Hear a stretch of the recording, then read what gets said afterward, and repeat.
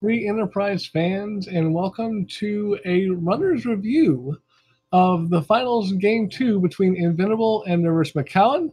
Uh, my name is Gambit017. I will be the moderator for tonight. Uh, Demarine2 is handling our restreamer, and in the booth with me, I have both Invenerable and Rivers McCown. Say hello, guys. Cha-ching, cha-ching, cha-ching, cha-ching. Oh, I'm sorry. That's just Endon walking in with his trophy. Uh, you sure that's not Rivers McCown wearing his Magitech armor? Uh, How's it going, everybody? uh, pretty good. Excited to get a good run back of this match and see just how things flip back and forth. It was the uh, the the one where we were pretty much neck and neck for most of the time, even though we were zooming back and forth and leapfrogging all over the place. So ought to be cool to see how it played out again. Yeah, I want to point out that I have not watched this race at all since it happened. Uh, I was very busy over the weekend, obviously. Uh, I think, and then said, I think, I think you said that you only watched some of it. Uh, I broke it. You've watched all the way through. Uh, I broke it into a couple pieces, and honestly, was distracted by just other things going on, other people doing stuff, and worrying about, am I actually going to be able to fall asleep tonight? You know, things like that nature. So, uh, uh, a lot of the nuance I'm sure has escaped me, but that's why Gambit's here to make sure that we don't miss any of the nooks and crannies. Yep, and I've got a nice list put together to kind of guide you guys through and see what your thoughts were in certain situations. Uh, starting at the very beginning of the seed with your party names. Um, I know once we get started, we'll be able to see them a little bit better, but you guys want to go through kind of why you chose to to do some themes with your party names? Uh, it's fun. It's fun. Uh, I mean, I'm not sure who exactly did it the first time. A lot of the time, I would just use silly names anyway and just leave the defaults because it eventually gets hard to come up with enough fun varieties. But I went with the Muppets. Muppets are good. If you don't like Muppets, I I don't I, I don't know what to tell you. Excuse me. Excuse me. I'm standing on River's neck right now. I mean, it did work out that way, didn't it? Better pick a different theme song next time. um, so I guess to try to come up with what we're thinking right here, we had a magma key start in the first seed as well, so that popped out immediately. Uh, we both uh, felt behind after the antlion gave a pan, I think, and neither Absolutely. of us picked it up in time. And that definitely adjusts my routing this seed a little bit. But one thing that everyone's going to see that Rivers, you did this most of the seeds this tournament, and that was you, you did the early Baron loot check and character check, even though in like Zenith Zone 2, you had, you know, really kind of like tried to push people away from that, including me. I quit doing that check a lot because of your advice. Uh, I still like fading it now, but there's some really good reasons, I think, here in the flags that we use to do it. Do you want to go over some of your thought process on why you really like uh, doing that early on the, Bull Gauntlet? Well, number one, uh, I think the character flags really play to the setup a lot better. Um, you obviously want as many characters as you can get early on. Um, you also are getting a lot of these treasures that now uh, you won't actually be able to sell for that much. So, uh, what I want to keep really matters a lot more to me. And in this case, um, I feel pretty comfortable saying that I always want to the third character before I even start shopping, before I even think about uh, how the meta of this is going to play out. And hey, seeing that boss there, that helps me out too most of the time. So Baron, not really a tough check as far as time anyway. And this is just became kind of my default for for this flag set for sure. Gotcha. And that also explains a little bit. Like, I'm with you on knowing those characters soon, uh, especially if I have a Tellah who lets me exit out of places. Uh, I talked this over with Blaze a few times that if we have a rougher party start like this, and you'll see me do this in a minute, I love going to Hobs early, even if I've not done a lot of looting, just to know who am I looking to find loot for? You know, is it Rosa? Do I need to find a good bow and arrows? Is it Kain or Cid and I would like to find an axe? Is it one of the kids who wants a dancing dagger? Is it Dark Knight Cecil, and I better find the black sword before coming up here. Things like that. Yeah, it was. Uh, it's one of those things that. Uh, I mean, if you watch my game one and game two, my openings are very, very similar, um, and, and I just.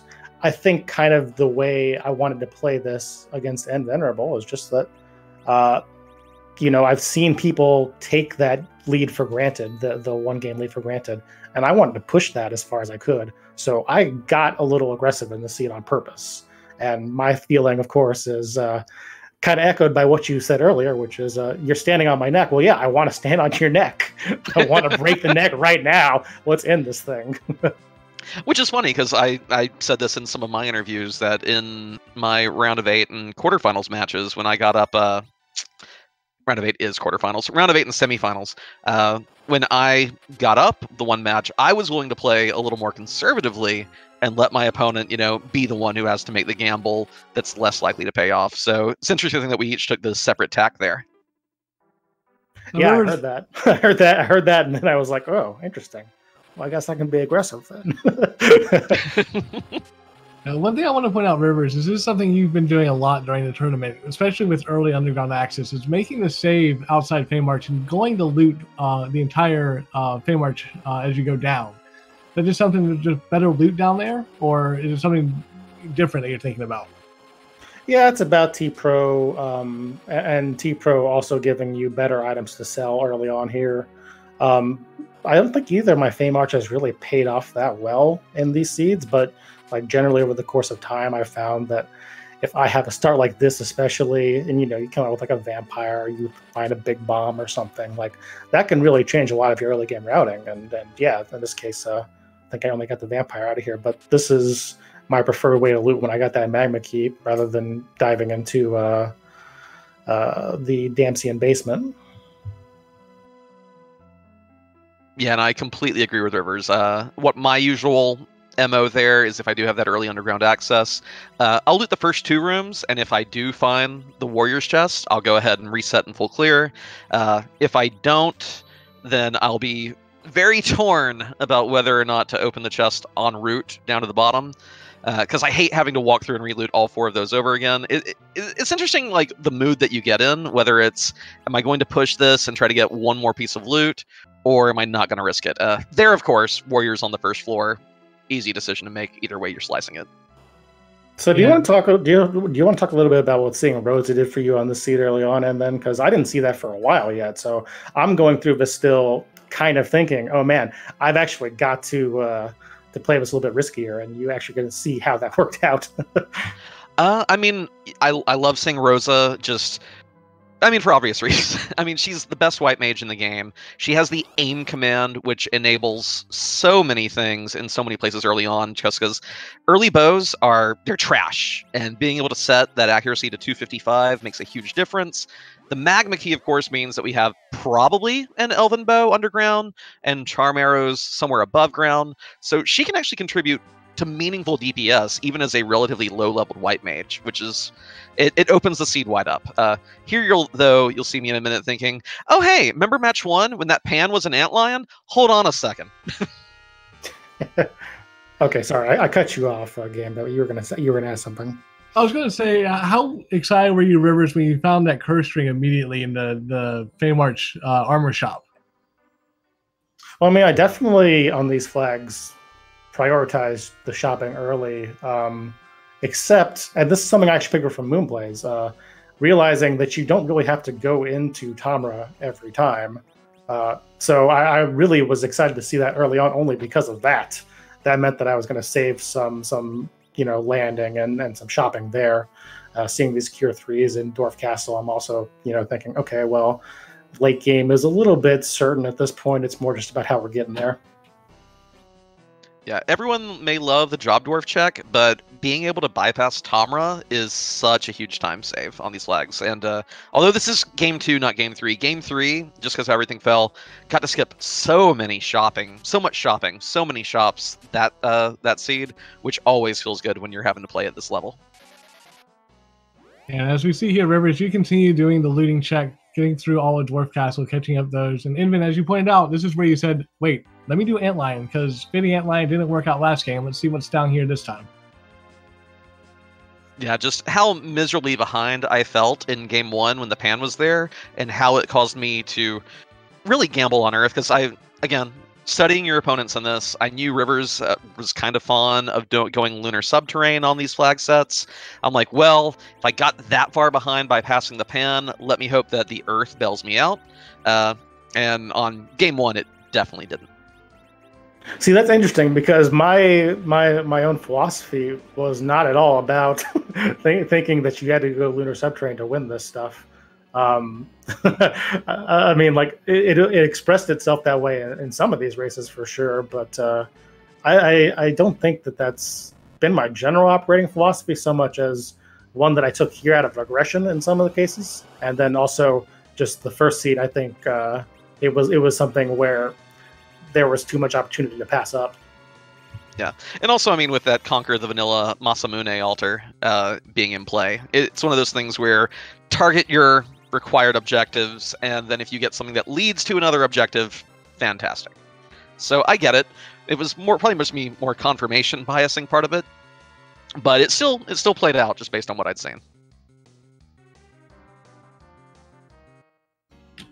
It definitely was a good thing for you, Inven, with the Darkness Crystal being there to immediately go to the moon and get a fourth character, whereas Rivers going ahead taking care of Hobs and picking up that Rosa. Yeah, and at this point, um, you see kind of the divergence. And for me personally, the way I played the seed, you know, I come in here, I have, I think, two big bombs still. I have a vampire still. I feel pretty comfortable about most things that I could fight at uh, at ordeals, and I know that getting Tellah his spells is going to make a lot of things easier. Um, it just kind of uh, the way that the seed was playing out, I felt like I should take this step first and you know, if in, in the unlikely event that something good is in an in, in that really alters the party dynamic at this point, um, you know, I'd always come back. And yeah, just just kind of the way that uh, being aggressive played out for me, expressed in the seed. Uh, I, have got to ask: is, is, that mouse pointer from the VOD, or is, is that our restreamers? Because I'm about to start acting like a cat and start pawing at my monitor. I believe it's from our restreamer. I think uh, our restreamer Demery is wearing, taking care of making sure everything is perfectly centered and well put okay. on for all our viewers. I was just making sure because again, that the, those feline reflexes are starting to be like, I'm just either way. Sorry, Demi. I was just checking. So yeah, Edge on the Moon. Um, what were you thinking when you found Edge on the Moon, Inven?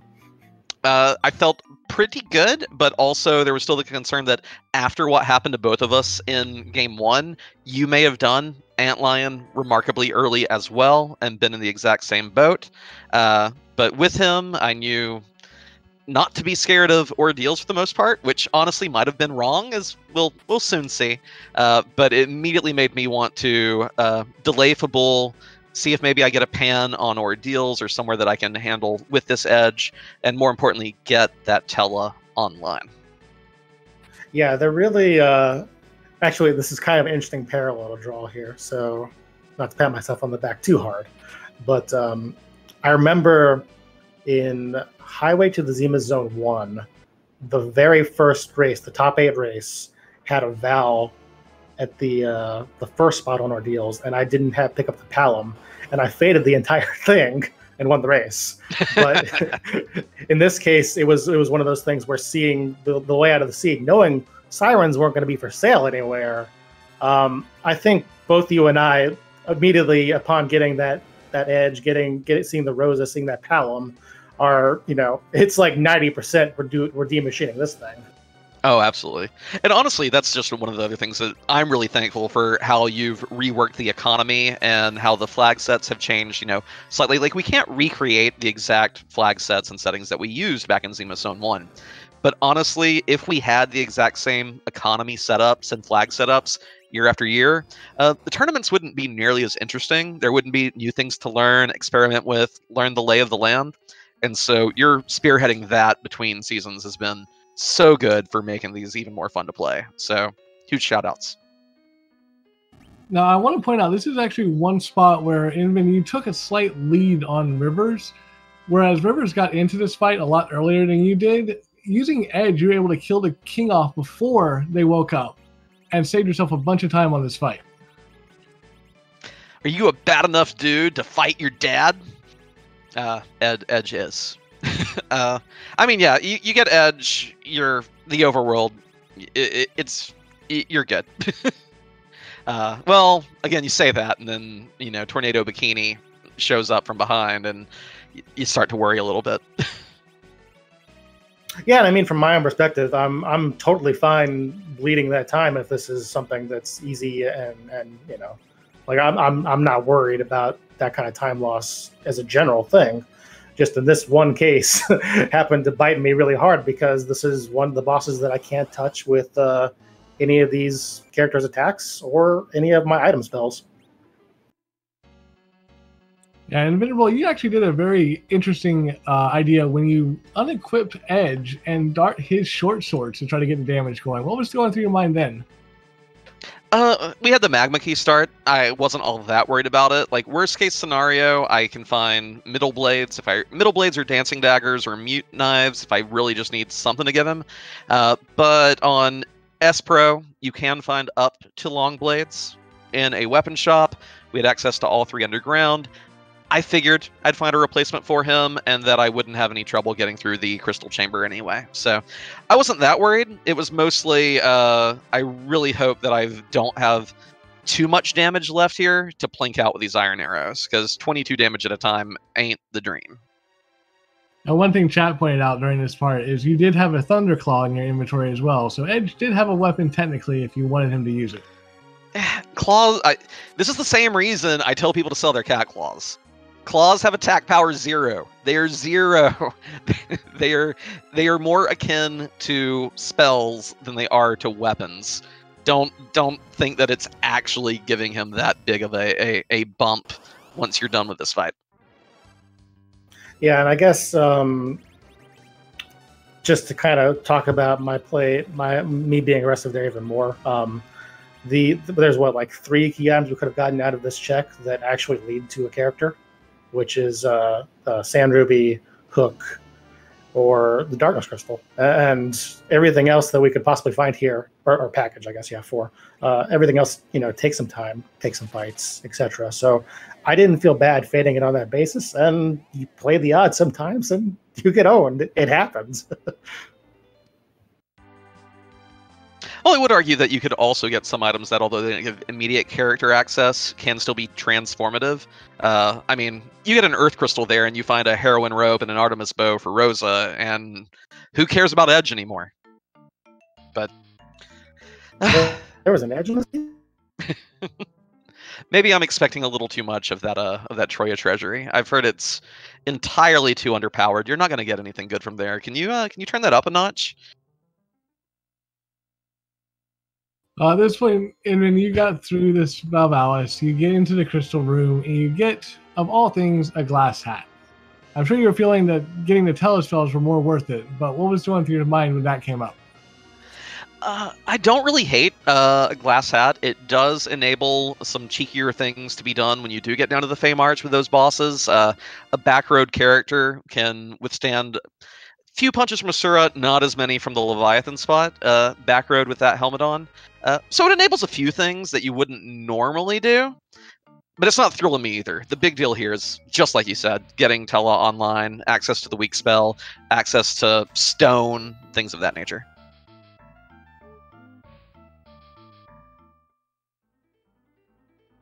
At this point, Rivers, you're getting your big whale. You're going about to head up to the moon and get your edge. You already had the knowledge from doing Fey March earlier that we have Golbez in the Leviathan spot and Water Hag at Asura was there any thought of uh, possibly going back to do those anytime soon, or were those still just kind of last things on your mind? And we lost him. I didn't think my question was that bad. Uh, Demarine, do you want to pause the stream and see if we can get uh, Rivers back, or do you want to just roll with me and Gambit? Oh, he's back! I'm not sure okay. if he heard that full question, Gambit, so you may want to give it to him one more time. Yeah, I didn't hear anything. Sorry. It's okay, Rivers. I was asking, um, again, getting the, the Lunar Ninja. You actually already had the knowledge from being in Feymarch about the Golbez and the Water Hag down there. Did those do you have any thoughts of going back down there to take those anytime soon, like as soon as you could, or were those kind of last thing on your mind?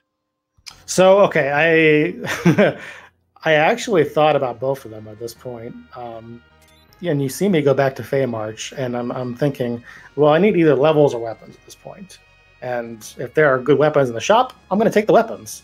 And if there is a you know a way I can get some levels on these guys, then even better. So unfortunately, uh, you know the Val thing, it, it's already in my mind. I can't you know I can't let it go. I've got to get this. I got to get this this tell online no matter what. So uh, this was just the easiest way to go, in my opinion. And uh, yeah, after I after I do the the Fabul, early Fabul checks and they wind up with nothing, uh, I'm I'm definitely thinking in my brain, well, I've got to I, I, I got to find a way to get past that Val, no matter what. Yeah, in the meantime, Invenerable, you turn around and do the same thing Rivers did earlier, looting Dwarf Castle, trying to get some extra gear for your characters. Yeah, I uh, I don't hate the uh, the Dwarf Castle play when I have Tellah. Uh, I hate having to walk out the entire place, uh, but also Escorter makes us all desperate for some extra cash. I know right now that I need to be able to afford two weapons for my edge since I threw all the short blades and I've not found anything better. So I'm definitely farming out a little extra money here to make sure I can get him online as my primary physical attacker.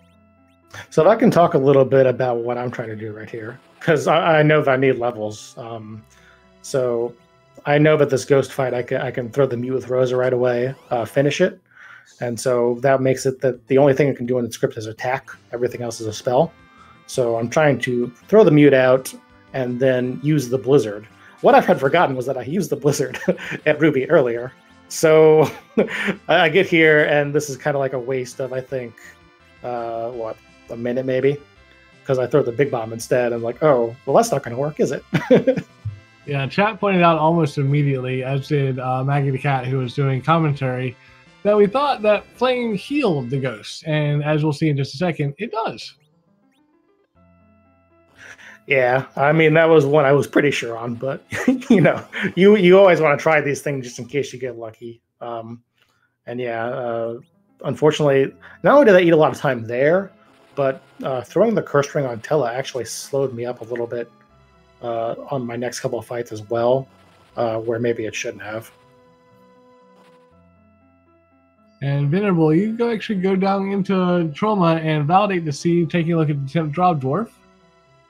Uh, yeah, I, I wanted the loot anyway, because again, want to power up Edge. I wanted to just check my weapon shop sequentially here, because if the long blades are in Dwarf Castle or Tomra, again, we have the Edge, we have the powered Tellah. There are a lot of Feymarch fights that I can deal with here, but I want Edge to be properly equipped if I'm doing it. Uh, so that's why I elected to check all the weapon shops on the way there instead of diving Feymarch. Uh, if I'm going Feymarch first at the start of a seed with an early Magma Key, doesn't matter as much, but we already have a character who is begging for those S Pro weapons. So doing the full circle around the underground seemed seemed fine.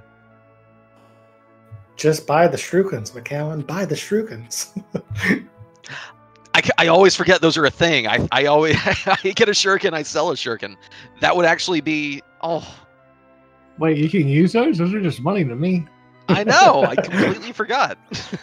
Yeah, I actually was trying to think of my plan here, and I actually haven't thought about the uh, the uh, the darting solution yet. So that didn't pop in my head until I was actually in the fight, and I was like, "Wait a minute, I got the slumber sword," and you know, you'll see it in a bit. But but yeah, I was uh, uh looking back at it now. You can see all your mistakes in 2020 hindsight, and you're just like, buy the damn shuriken. the, uh, yeah, I was actually shocked to see how much damage the Slumber Sword did. I know that someone a while back had mentioned that they're a really great price efficient way to buy a stack of throwing weapons for Edge, but it didn't really connect until I threw that one at Val and saw, you know, nearly 1500 damage. So definitely something to look out for on these uh, S Pro flags in the future. Uh, so Rivers, you got the Luca key very early on. Uh, Invenerable, you just get here. Either of you have any thoughts of even checking what was down there right off the bat, or was that just one of those? Okay, that boss is way too fast, way too powerful for this team. We're gonna fade that for a while. Well, I have the cursed ring, but um, the damage that this party, like the, the, the damage output that this party had with no berserk at all, um, no real way to actually cast spells. It just seemed like no matter what you would do there, it'd be really long. So yeah, that that didn't cross my mind at all. Yeah, and the only thing that I I do love getting an early magma key and Luca key combo, uh, but not for the sake of checking the boss. I like it for doing a very quick door grind with a Star Veil to get uh, any black mage online. Whether to grind Rydia up to get Virus if I don't have any good summons, uh, absolutely to get Virus and Quake on Palom, uh, or to get even Burst and Blink on Rosa or Porom. That's what I love going to an early Sealed Cave for. But here with Edge, didn't really feel that relevant. Yeah, and and when you do that, normally it's because you don't have a darkness crystal already, which darkness did. crystal tell. Yeah, yeah, yeah, yeah. yeah. When you have no other good options. Now remember, as you go to Fabul here, you go ahead and do the Sheila one check in the defense of Fabul, get a Tiara, which is going to be great for Rosa, and then the Legend Sword. How are you feeling right here? Um, like I had done a lot of work and gotten nothing for value. Thanks, I hate it. That's how I was feeling. but I mean, you know, obviously it is required, and yeah, it's nice to get some objectives stuff on the board. But really, at that point, it's more about uh, how I'm going to get past that Valvalis. That's like driving every decision at this point, just knowing that Palom's in that Baron Inn, and I can slingshot him up immediately. Yeah, in the meantime, uh, Inven, you go ahead, you find the long blades and then the curse ring and the Feymarch, and then go back to the save point to heal up and take on that water hag. What was your thoughts? Uh, I so I'm well aware that there are a lot of bosses that you can kill at low levels that eat up a ton of time on your clock. Uh, water hag, even at root spots, not really one of them. If you can anchor properly, get Blink up, and just get those three hits in. Uh, so you saw this also in Game Three. I made a similar play against the uh, the Dark Imps, although that was more for the XP than really hoping for the long shot. Uh, but it's easy experience. There's a chance that it gives me something that blasts the seat open up against someone as great as Rivers. Uh, so I figured I'd do it. Uh, Golbez, contrarily, one of those fights that, although free with enough Star Veils here, is very slow. Water Hag, three hits, you're done, and it was very, very friendly, as you'll see with uh, its choice of targets here in just a moment. Yeah, yeah the, the, the, the, the Golbez spot in Leviathan doesn't do a lot of magic damage, right? That's what it is. Yeah, yeah. Uh, PK, who was also the other commentator for this match, actually pointed that out where you would have to have extra damage against Golbez in that spot because he wouldn't be able to kill himself with his own spells before his Star ran out. Yeah, it's a lot nicer here if these two swap and Water Hag is at the Leviathan spot because it's still punching harder for this low level team, but the Asura spot's magic is so high that it's very easy for Golbez to knock himself off there. Now, Rivers, you come back down to the Fey March a second time just for a shopping trip, which kind of confused our commentators, thinking you were going to at least maybe make an attempt at that Water Hag. Yeah, I thought about it, like I said, but uh, uh, I really just was more interested in, in trying to fight off that valve than anything. I knew that long swords would give me some kind of credibility in that fight. I didn't know how much. Uh, it's not something I really practiced uh, in depth, but uh, I figured they could at least pierce through this through this and make it, you know, doable. Uh, and then, like halfway through the fight, I remember, oh wait, I can dart things. oh, that helps. like drain is a spell, dart is a command. It's not just for spoons and excals and Invenerable for you. How do you feel seeing that Zeus gauntlet from the Water Hag fight? It was fine. I mean, again, I know I keep contrasting other matches. Like Game 3, the Dark Imps gave a whole bunch of XP and a Protect Ring. That gave 20,000 XP and a Zeus Gauntlet. A uh, little bit of time loss, but the levels are going to help me get through everything pushing forward. And that Zeus Gauntlet combined with those long blades, I know Edge is about to tear things up. So, pretty okay with it.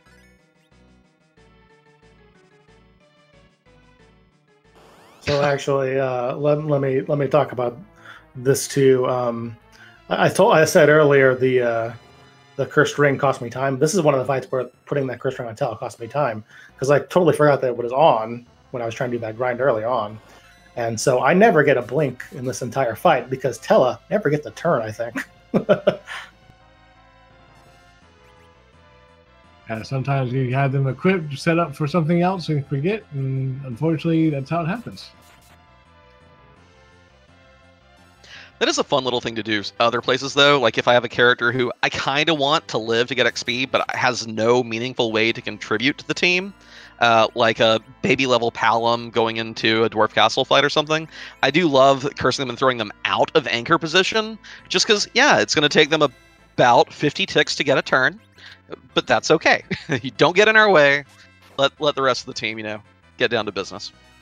Now, Venerable, this is something I wanted to bring up to you here about the Baron Inn fight. You set up the weak on the dragon form of Dark Elf before you had had him change. Did you already were you counting the damage and knew he was about to, or?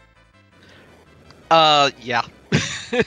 that that spot has what 4000 HP and it's something like a 1600 2400 split between the elf and the dragon. I don't remember the exacts, but I I knew it was about to change. It's not really like you have to count like thoroughly when you've got edge either. You just kind of know that it's going to happen pretty soon. Yeah, there there are places and fights where you do need to be cautious. Like there's certain Calbrena fights where if you don't have a sweeping mage, you really and you have to beat them with just melee attacks. Then you do want to pull up that chart. You want to get the exact HP counts. You want to keep track. Right there, even if the weak had whiffed, big deal. It's dying soon enough anyway. Edge is Edge is doing it. In the meantime, Rivers, you get through Valvalis and get your glass hat and your telespells. Invincible, you're heading back down into Sylph to do Sheila 1. We have actually a very good question from chat from Dark Paladin uh, asking if how you guys felt with uh, all the seed having early underground and darkness available. I mean, I, like it doesn't really register to me. I guess like I hadn't even thought about it until this moment. Um, it's one of those things where, you know, I've probably practiced a seed a night since this thing started for what three months. So I've probably done hundreds and hundreds of seeds by now, and nothing really phases me in that way that much anymore. Like the only thing that would really have affected me deeply on a seed like this would have been the the the Ogopogo Gauntlet or whatever that was, the thing where the red bees can just destroy you. Like that that that would be annoying but everything else I felt like I was pretty prepared for. Yeah, and uh, for my part on it, I, I didn't think about it in the moment either. Uh, in retrospect, I am probably a little thankful for it. Uh, there are a lot of opponents that I love having a hook route race against, just because I know that I can eke out an advantage there. Rivers, you are not one of them. So having open and varying routing available to both of us, I feel definitely gives me, you know, better opportunities to to find something going on. Whereas if we were both funneled into such a linear route, I think I would have had a much rougher time in this uh in this trio of matches.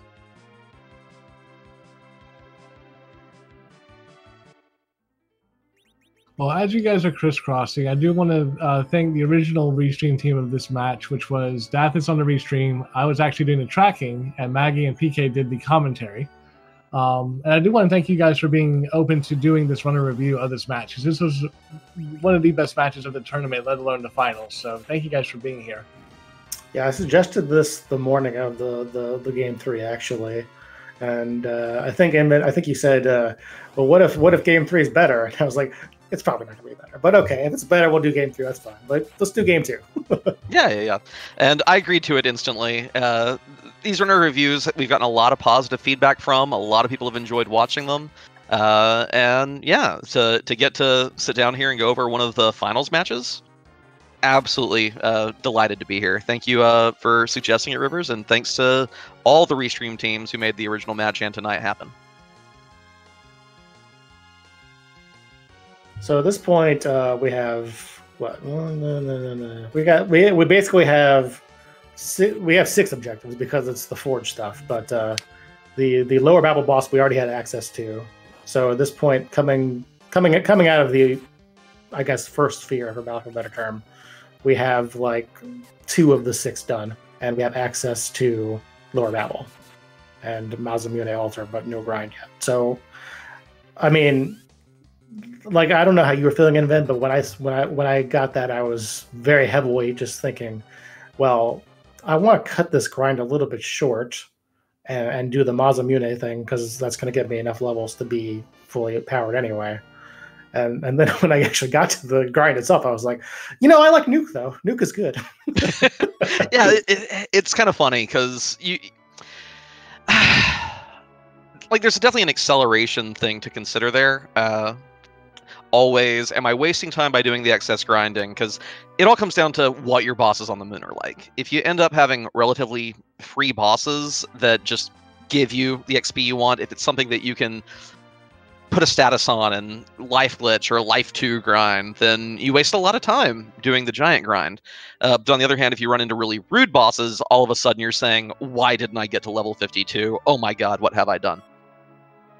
And right now we're both shopping for various things. I think I'm looking for life potions. I believe. Uh, and I am. I think I already have a few succubi in my inventory, but yeah, you're looking for the life potions, maybe the ethers, uh, just to make sure that your team can uh take care of the grind, which is coming in fairly soon.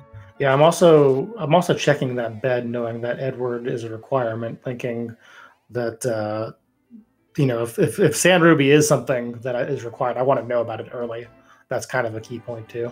Mm.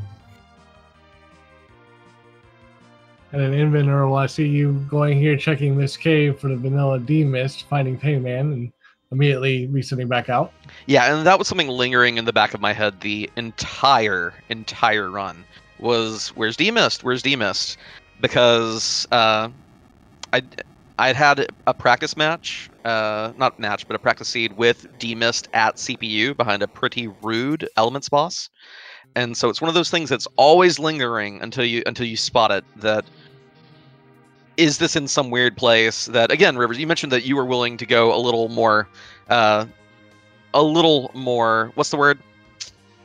Aggressive aggressive thank you you're willing to be a little more aggressive on the seed so there was the thought of well what if he is willing to go take a quick like what if he's taking a peek at the Magus Sister spot? What if he's using this one game advantage to commit to a giant play? What if he is going to find a hook and immediately make the the run to see who the King Queen Evelyn fight is? Uh, so Demas was one of those things that was just in the back of my head this entire seed. Yeah, I guess I guess the the thing about committing to giant with this is uh, you already know that you have to go back to the moon anyway. So, like, I, I, in my in my head, like, did I did it cross my mind? Did I check the boss? Sure. Was I going to commit to it? Probably not. this is a boss up here where it's not necessarily difficult, just time consuming uh, in the form of Milon and Friends, as we'll see in just a second. Uh, and it was interesting to, to watch it live and see neither of you decide to take it on. Yeah, it's it's not a difficult fight, but it is annoying. Uh, that spot, the way the algorithm divides things up, is that it has like hundred ten thousand HP combined because each element's form has a huge pull of its own. And what that ends up meaning is that Milon there will have about sixty five thousand, and then each of the gas will have entirely too much for a single dose of Quake, maybe even a single dose of Meteo to take out. They might even pass the ten thousand mark. Uh, so it's going to be a slow fight, and you're going to eat so many Lightning One counters that even the thought of doing it after leveling just thoroughly unappealing. Did not want to commit to that. Yeah, my my my basic um, meta, and, and I'm not saying this. I've always followed this, whatever. But uh, my basic line of thought with uh, if I'm going to clear giant is: is there multiple things I can get out of this? Is there multiple wins, basically? Is they're both a character and a boss that I could find. And in this case, we had found the officers early. The only thing that was really there that could be there and, and win the seat was Edward. And if you commit to that early on with this party, it's not going to take a terribly long time, but it will be annoying. And eh, I, I don't know. It, it did not seem worth it to me. Yeah, and it's also another, uh, and this is another thing that definitely makes a difference between the one v ones and big group free for all plays, is that in a one v one, if you do make a gamble on a play like this that takes you know four or five minutes of your game time, you also have to consider what are you going to try to do afterwards to make it back, or are you going to try to hope that your opponent makes a similar time loss, and that's one of those situations where. I couldn't see an opponent making that similar of a time loss. Uh, like there are definitely things that any rabbit holes that anyone can go down. But this is one of those that I figured was a low percentage chance of Rivers finding a way to lose that much time across the entire seed. So, okay, let me direct this to you because I think this is kind of an interesting one. And given I, I, I'm, I'm not sure how far ahead you pull here, but I, I know I remember somebody saying that you did leave this before me, despite me starting it earlier. Um, what what kind of is your grind setup mentality for for this team machine? Uh, well, let me look at the team right quick. I need to see my party order, so as soon as I get into the fight, I can give you a better idea. Uh, one thing I have started doing is buying a Hermes sandals because there's nothing more annoying than when you have speedy characters and Tellah gets out of turn when you're hoping to cast a weak. Uh, come on, where's the fight? Where, where's the fight? Okay, there we go. Um, so yeah, my Palom there is still at base level. I don't know if I'd put the curse ring on him or not, uh, but the general rotation I like to get going is uh, punch, weak, life, ether, or cure as as befits the next turn. Uh, well, wait, no, that isn't quite right unless I do keep the kid up. It, it's hard for me to go back and look at a clip and tell exactly what my mindset is. I am always thinking while I'm walking to the next place how I want my turn order to look. But as far as how I wanted this to play out, I couldn't have said exactly certain. Uh, looking at it after the fact, but I'm sure within a couple of minutes we'll see. okay, well, generally speaking, I like to go to battle speed two on these fights now, and it's all about, I think, better better odds of, of getting that double.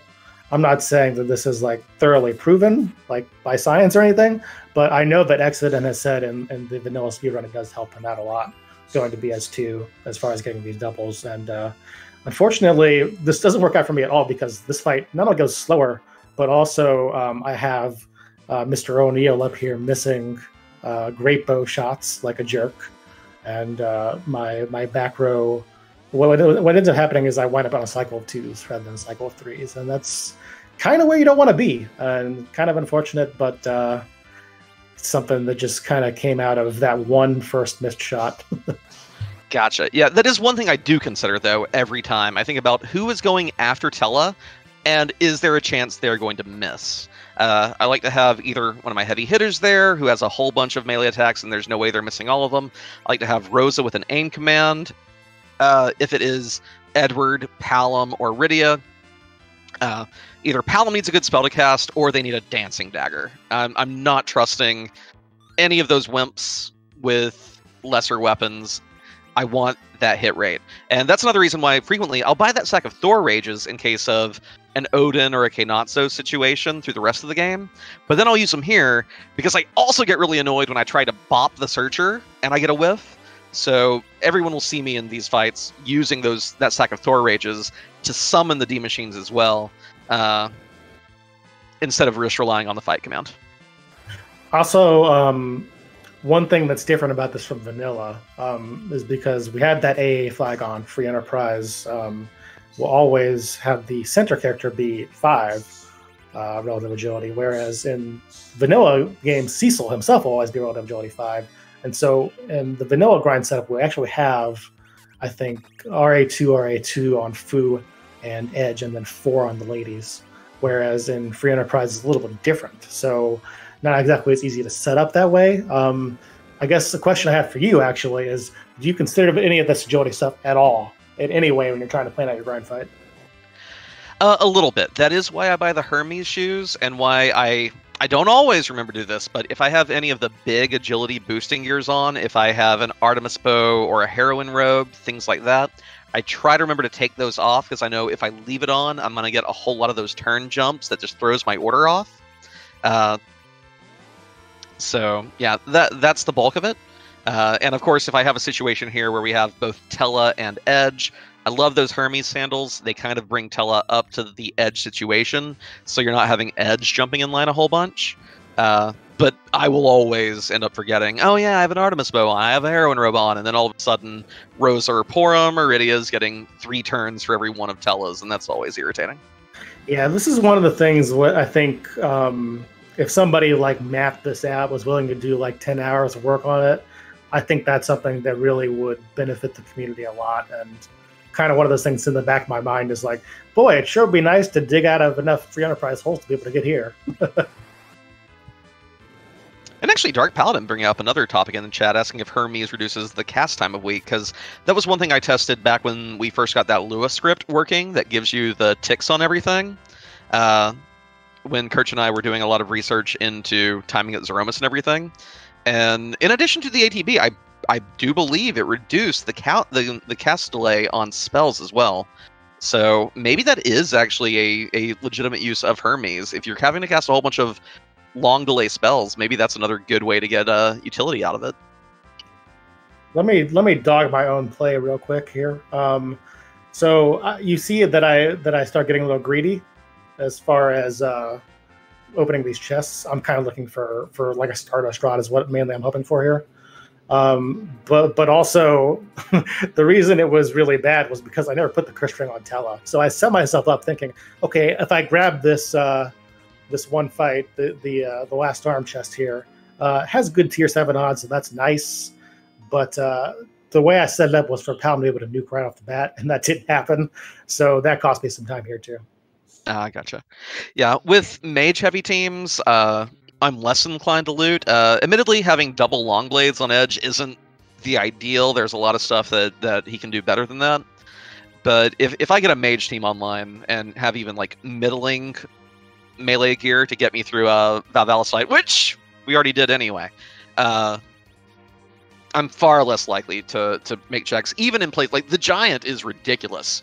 The loot tiers are great. The last arm chest, great odds of a tier seven item, but it's one of those things where also I'm already feeling a little behind. Like again, that that water hag fight didn't expect you to necessarily make that play, and uh, I just wanted to get this done and keep on rolling. Yeah, I, th- I think I would definitely call this conservative play for me, which is kind of out of whack with what I've said earlier. But in the moment, it was one of those things where I was like, it really would be nice to just find a big stat stick here and, and make sure that uh, everything on the moon becomes really free. And I went want to the fraud out of it, I think. So that wasn't bad, but not what I wanted. yeah, yeah, yeah. Plus five is nice, but Charm and Stardust, that's where it's at. Uh, one thing I want to point out is, um, Rivers, you ended up getting just a soft from your D Machine grind as a, an item drop. Invenerable ended up getting an Hourglass too. It was probably a three, actually. I think those dropped threes. Oh, baby. Can't buy those.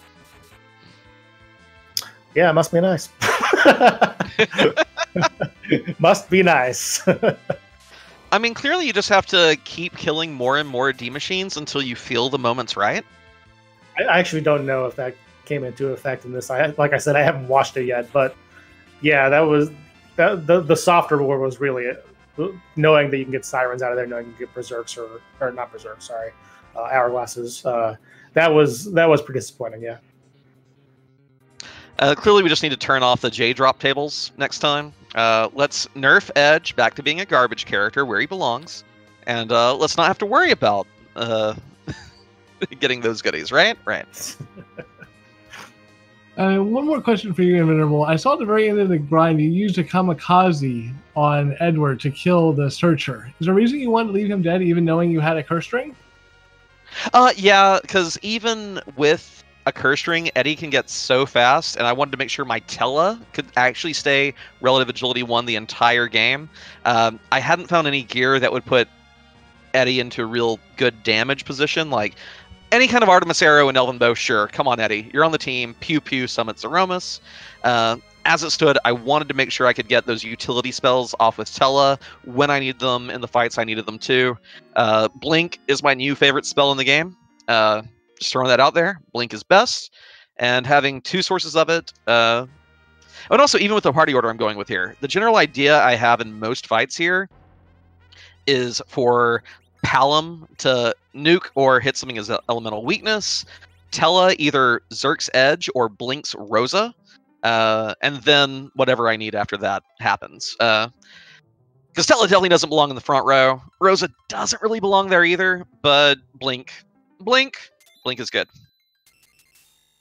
And then chat noticed a big divergence that happened right here after the grind. Rivers, you went straight up to the moon, which is what you do doing did in game one. So kind of following that. And Invenerable, you decided to go ahead and finish the Earth treks. Same thing you did in uh, game one. What was your thoughts on these checks here? Uh, I guess for me, um, my thought is that of the two checks, I know that if I happen to do the Masamune altar, I won't have to go back to it ever. Like I might have to pass it as I'm getting if I don't find the pass, but other than that, I'm I, I know that tower there's still the tower key live, so that's kind of driving my decision between those two. Knowing that after you do that grind, it's probably one of those two decisions you got to pick, and so I was just like, I've got nuke. Um, pass can be anywhere. Why kind of put it off, especially after game one when Inven was talking about how you know that that was kind of an influencing decision for him. I was like, well, it can be anywhere though, so let's just go here. Let's see what happens. And conversely, we talked about this earlier tonight in the runner's review, but I had interpreted Rivers' play, which was probably more directed by the objectives he had seen in prior matches than by some affinity for the bottom of the moon. But I had seen the LST play a bit, and so I figured let me counterplay that by staying on Earth. This is an objective. If I get the pass, I'm willing to make the bum rush to the bottom of the moon and full clear it. Uh, and moreover, if not, and I can somehow clear all these chains and finish the seed with that vanilla Masamune altar, you get to save so much time walking back and forth, uh, and even deciding how you're going to clear those LST7 bosses. So, uh, was hoping to cut down on things, and all it earned me was a double dip into Lower Babel. So, hooray, strategy!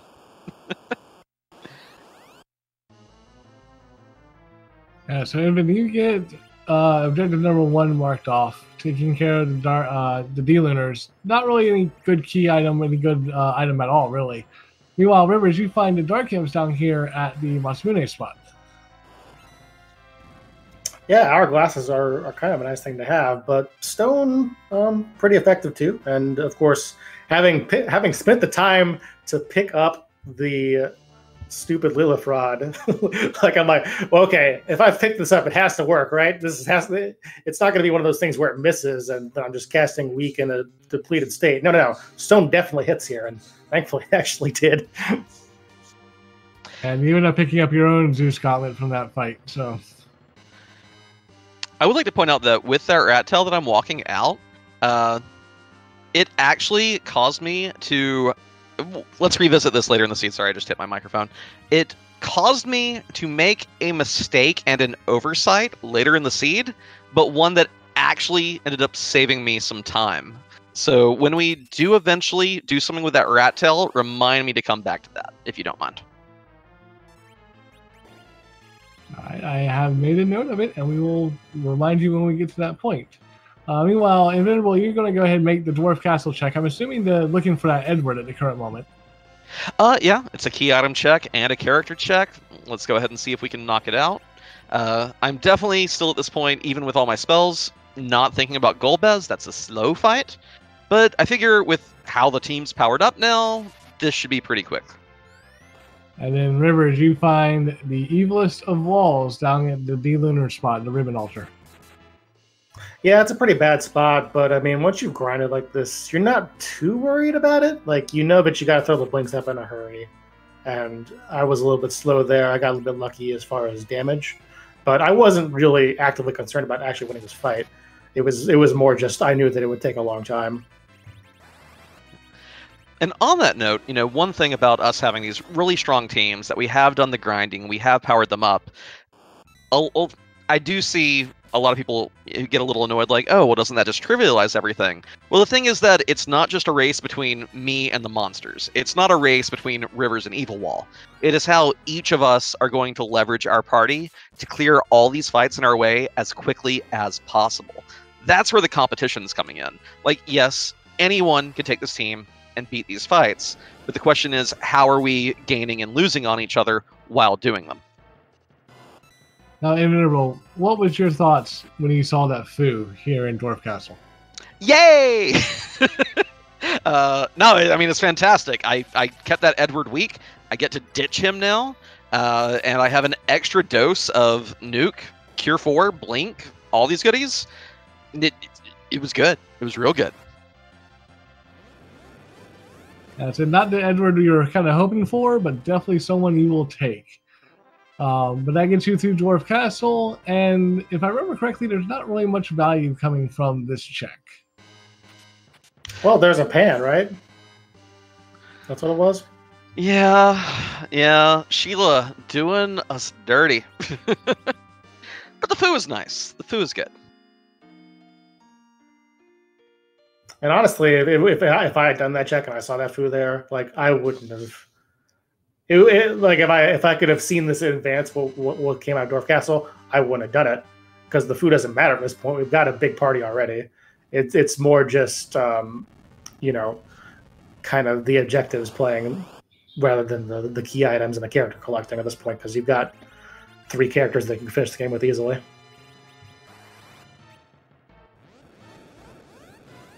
Yeah, so Rivers, you took care of the evil wall. You ended up getting uh, what we nicknamed in chat the Tower of Power as the tower key and a power robe from the Ribbon spot. Immediately moved over to the White Spear altar and found Paladin. Nuke, nuke, nuke. It's a good spell. yeah, that's there's not a whole lot of, of, of added uh, strategy to go here at this point, unfortunately. Once you have Palom at these levels, he tears things up, and that's kind of how I approached the entire moon. Oh, and I will say that the other great thing about getting Foo was that I did get to bring Statler and Waldorf back together. Uh, very happy the seed let that little naming convention come into play properly. So I do appreciate that part. didn't didn't even have white for this fight. You hate to see it. But anyway, well, you got that pan from Dwarf. You immediately go down to the Sylphs and play Whack a Monk. Yeah, you gotta you, you have to follow a pan. If you get a pan, there are two key item checks here. You got to do it. Uh, the one thing I will say that I did was I went ahead before I entered the cave and walked on all those damage tiles, did all my re-equipping, all the party organizing, thinking, you know, if both these spots are, are garbage, well, at least I will save myself uh, a little bit of healing and a little bit of walking by resetting back to that save point. So, eh, it's about all I had going for me after getting the siren and whatever this hunk of junk's about to be. And when I see the standard now, I'm like, well, I'm glad I checked Kaipo because now I don't care about this at all. I can just safely ignore knowing that it's another edge and it has no meaning in my life. And Rivers, you immediately start heading back toward the Wyvern Altar, which is the next logical point. You get a Charm Rod from the pan check, and Inven resets out immediately. I do love the plus the, the it's plus ten at that point, an additional plus five over what I have equipped. But I just didn't think it was worth walking through having to heal after all those damage tiles. My kid has a freaking elven bow equipped, which means that the re-equipping is even more annoying. I I just didn't think it was worth the trouble, and I was very disappointed in Sheila that that afternoon. Yeah, Sheila one was great value with the Legend Sword. Everything else Sheila had was nothing. Yeah, and then uh, I told you a long time ago. My superstition is that when uh, Yang when when Yang is not in the seed, Sheila doesn't deliver. oh yeah, yeah. And every every time now that I have a party with Yang in it, and I go to check, and I'm like, you know what Rivers McCown always says, and uh, Oh, let me make sure I, I, caveat this. That is not developer talk at all. I have no access to that information. It's just superstition. oh yeah, yeah, yeah. But still, superstitions are fun. I like them almost. No, I definitely like superstitions more than I like memes. Uh, so yeah, uh, we. I think I may start keeping a tally. Like, okay, Sheila value with Yang. Like, is it, is it lovers on the rocks tonight in Fabul Castle? Oh, interesting hourglass. Good thing I needed that now. Don't you know you're supposed to get those from your D machine grind? What are you doing? I tried, man. I tried. now, one thing I want to point out here, Rivers, is you finish that fight, you get the hourglass, and you immediately exit out and fade the remaining two moon checks, the Pale Dim Spot and Cave Bahamut. What was your thinking there? Um, I mean, that's been a meta for me for most of this tournament, honestly. Um, I think when you're trying to decide how you want to win seeds, um, you have to kind of separate out where you're willing to lose. And I was willing to lose at uh, not Cave Bahamut, but but uh, the Pale Dim spot for sure. that one's going to be the last one I check on pretty much any of these, just knowing that uh, it's a t- it's a it's an annoying jog to get to if you have to reset for whatever reason. That's that stinks. Uh, there's also the part where if it's something nasty and it wipes you, then you have to decide if you actually want to do it at all. and, and, then even beyond that, just the extra time involved in getting it. It's it was always the one when I was doing my analysis on this stuff that I came back to thinking, if there's one thing I want to fade, it's that. And you know, I'd probably run, you know, like I say, 100, 100 120 of these seeds over the past three months I've probably seen value there uh, less than 15 times. And That's... most of the time that I've actually done it, uh, it, it, happened in, the, in, in, in, these, in this tournament. So I, I understand uh, why people were upset about that. I understand why people are like, he's fading it. Oh, is he thinking about it? No, I wasn't thinking about it at all. I was mainly thinking, I'm skipping this always.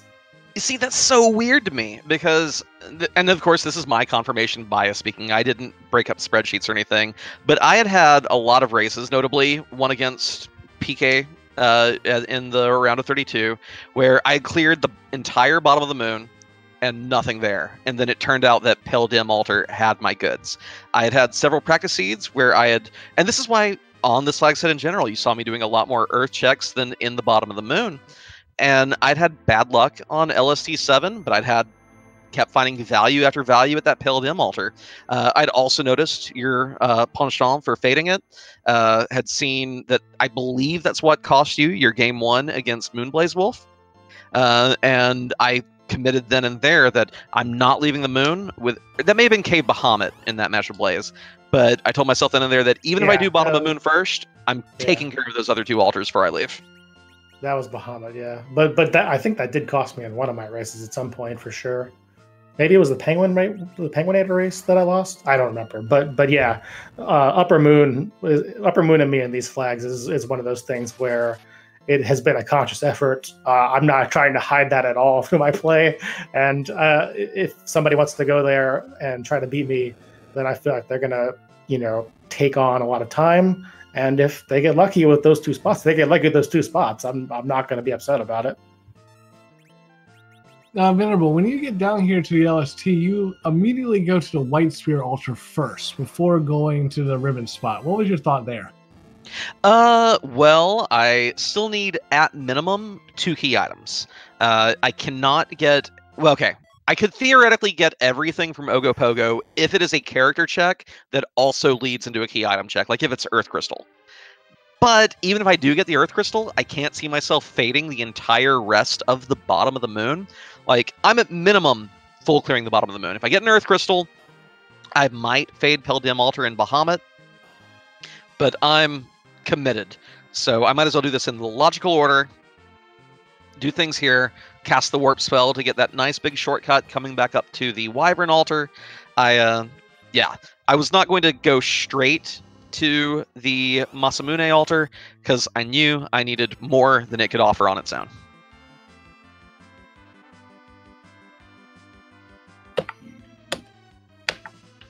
And then Rivers, when you got here to the tower key, you find Dr. Lugae here. What was your thoughts as a spot that's supposed to be nice, easy 400 HP, all of a sudden is going to be a nice little cutscene.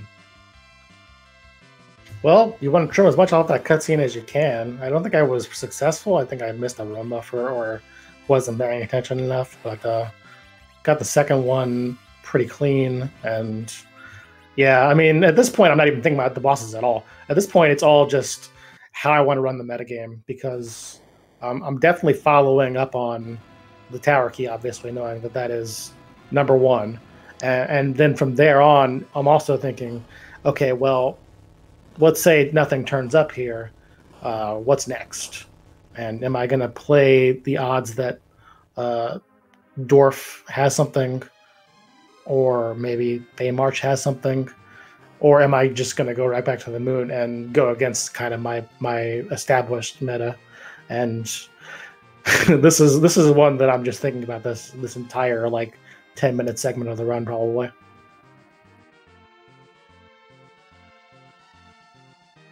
Yeah, but you, you, you take care of that tower key, you come down, down, and you're going to end up getting rewarded with the Earth Crystal. Uh, how did that kind of play into your decision making once you saw that? Uh, see Earth Crystal, chase Earth Crystal. I had nothing left I could do. Uh, I got the rat tail at the top. Um, everything else was either those top two spots on Moon, or you know, uh, Dwarf Castle, or the Feymarch checks. So at this point, I, I, am thinking I'm committing to my moon, my moon value first and foremost, no matter what. But after that, then it becomes kind of a debate, and I'm kind of hoping that there's like a long chain out of this. I mean, you just listed a lot of things, but you didn't include always sealed. oh yeah, that's a thing too, isn't it? You'd have had that lovely defense sword, and then not demist. Oh, I went Which, there. Honestly, I went there. Don't worry, but yeah, yeah. I didn't think about it in this moment. it was so. I, am actually kind of glad it wasn't demist there, because thinking about what that would have led to ultimately. Mm, no, thank you for thank you demist for hiding behind my last actual objective. That's right, Invincible. You never actually got the chance to turn in the demist check to see what lovely item you get from that. Uh, and Rivers, when we catch up to finding where demist is, will definitely be able to show us what lovely stuff Rydia's mom had. Yeah, I mean, at this point, uh, fading the entire treasury, I think, was the only play you could make. Uh, knowing you're trying to win the race, uh, people have been talking about how overpowered the treasury is for a while. But even knowing, even if there was like a Masamune there, you've got a long, long power Zeus. Uh, you're pretty set. And honestly, with this party, you're doing reflex traps anyway. I feel like so it wasn't really a, a, a thought in my mind at all about that. Long, long power Zeus, power Zeus. Uh, yeah, same. I, I'm pretty sure I end up skipping it as well. Uh, just the the team is already good. You could find a Stardust Rod, you could find more Rune Rings, Sorcerer Robes, etc. But you're already good enough to beat Zeromus, and who needs that? Who needs that inventory management? no, we're good. Yeah, you guys both faded that uh, treasury, and then Rivers going into this fight without saving. What was your thought there? Just not really afraid of anything that could be here. Um. Well, I knew I had the Cursed Ring Tellah set up, so I wasn't worried about uh, Wyvern or Golbez in, in a meaningful way. I knew I'd get I could survive it either way, and just playing the odds. Uh, turned out that it was CPU and got to swag Meteo with everybody. Yes, I know chat was very happy with that swag Meteo and get rewarded with objective number four, finding the Edward. How'd you feel at this point? Hour five in, four objectives down. I mean, just you know, how game one turned out basically was uh, I paid attention to my checks and and went went right went there right away. Uh, got double value, so I'm hoping, of course, for double value out of this. And then uh, there's the moment where we see who this boss is, and I'm like, oh man, this is this is really turning out incredibly well. Um, having two checks here to get the the last item that I need for a go mode. Lovely Miss Dragon hiding herself at the top of the Tower of Zot. Um, again, makes for a very quick, easy check. As soon as you defeat her, get taken back to Baron, and can immediately just fly right up to Mist and see what you get.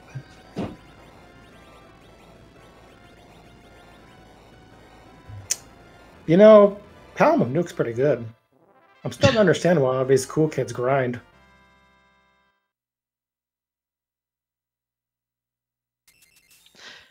I mean, you know, if you just uh reduce that delay involved with the Meteo spell, maybe we get more of it. I mean, it costs a lot more, but you know, swagger rocks for the fans. Listen, you want to make those Hermes shoes a thing, so go on, go on with your bad stuff. You can lower that cast time to like ten.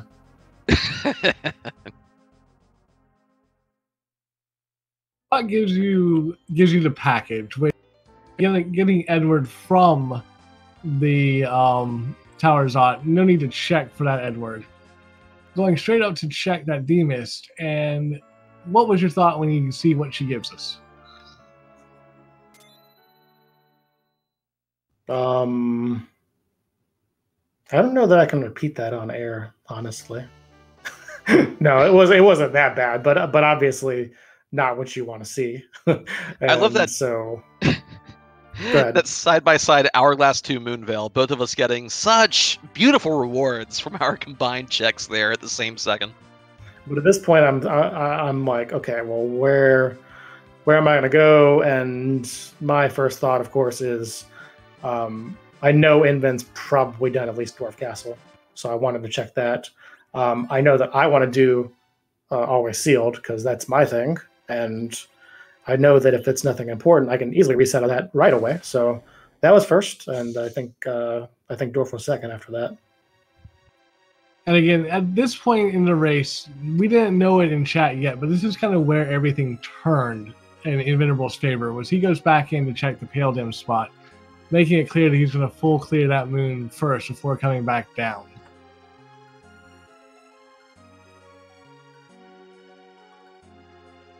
And again, it's kind of remarkable how a bit of this comes into play just based on our practice seeds and how our confirmation bias comes into play.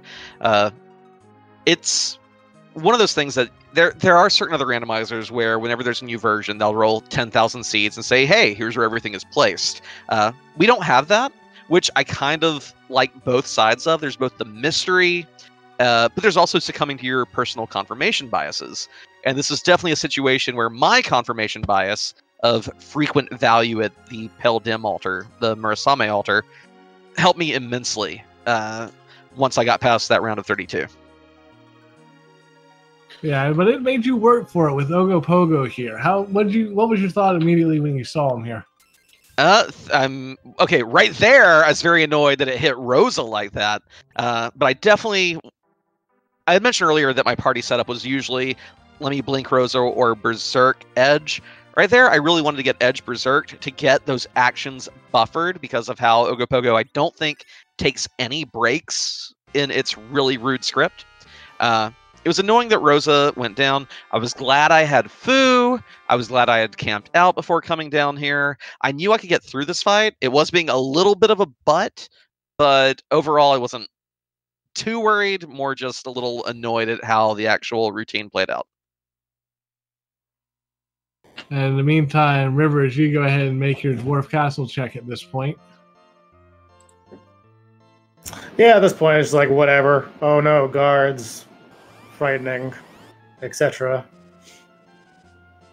I mean, there's real, at this point, when you're kind of going through the seeds, like the the actual boss aspect of it stops being a thing that matters to you almost, and it can lure you into some uh, some false senses of security even, and knowing, especially you're going down here, you're just like, okay, well, fine. It's two guards. See you later. Uh, Invenerable, when you saw Baron Key here, did you have any thoughts of just saying, okay, the heck with uh, K. Muhammad, let me go immediately back to Earth and chase this? And a little bit, because again, it, it, it is a spot that gives you two key item checks and a character check. Uh, but to refer back to River's Prospectus earlier in the event, that as much as you can, you want to play the long game here. You want to reduce the amount of time you spend running back and forth between all the places, you know, flight time, whether in your airship or in your whale. And I just wanted to go ahead and knock the moon out while I was here. Let's not worry about coming back here again. Maybe we find a pass, even if the Baron key is wrong, and then we get to save four and a half minutes walking back through the moon. Uh, instead of having this cave Bahamut lurking in our uh, in the back of our mind the entire time you know, where that Mist Dragon still is for me at this point. And then Rivers, when you saw Fusoya and Dwarf Castle, what was your thoughts? Okay, why not? Come aboard. You're fine. I, I don't know. There wasn't really a whole lot of deep thought at that point. Like I said, it was the party was mostly set, and it was more just like, well, I, I guess the fans will not get the Edward finish they wanted so badly. I'm sorry, but gotta go, Eddie.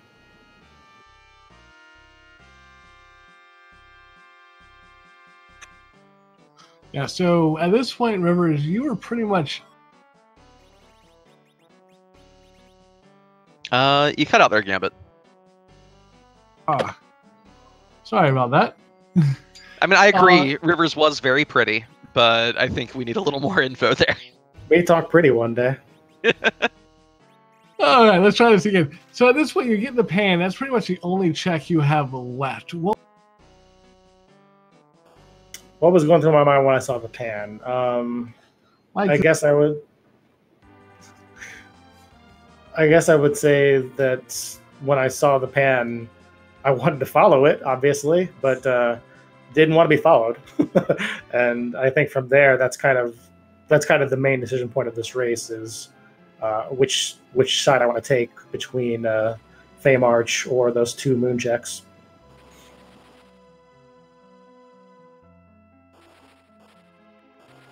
Yeah, but you definitely go chase that pan, which is the again the, the play you have to make at that point after sitting through Dwarf Castle, getting it because you never know that could finish the seed for you. Yeah, it was. um I'm not sure if this was in this one if it was this one or no, no, it wasn't this one. That it was it was the other one where I felt that the race was over. But th- at this point, I, am thinking, um, you know, if it's here, the race is over, and you know, I'm going home a happy boy. But uh, unfortunately, you know, Yang stayed out drinking last night, didn't decide to come into the seat, and Sheila took it out on me. And Invenerable, you finish Cave Bahamut to get that hook. Immediately go check that rat tail. And what was your thoughts as soon as you turned it in? Uh, so at this point, my primary mental focus is on finding that adamant. So I'm hoping the rat tail gives it. I had made the save earlier, so I wouldn't have to move my hovercraft again, and I could just go target Baron.